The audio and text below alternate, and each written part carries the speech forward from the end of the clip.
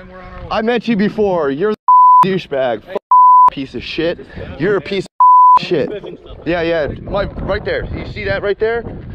It's attached to my fishing gear.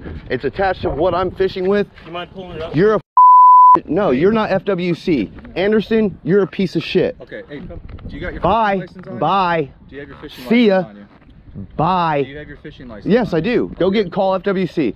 We already, dude. You you ain't we ain't gonna go through this route, dude. Three seven nine dot three five four. Yeah, I understand. The that. only person that can run my fishing license, I you hold on. No no ill will. Do you see me freaking out? No, dude. But this guy's a piece of.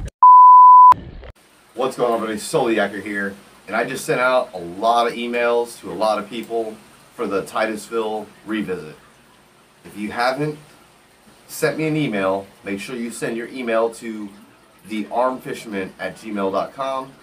That way I can send you the information and that way you know where to be and how to be. I'm not making that video public, but if you want to get in on the action, please email me at thearmedfisherman at gmail.com. I hope to see a lot of you there. It'll be a good time. I'll check you on the flip side. Later. Solo Yaker.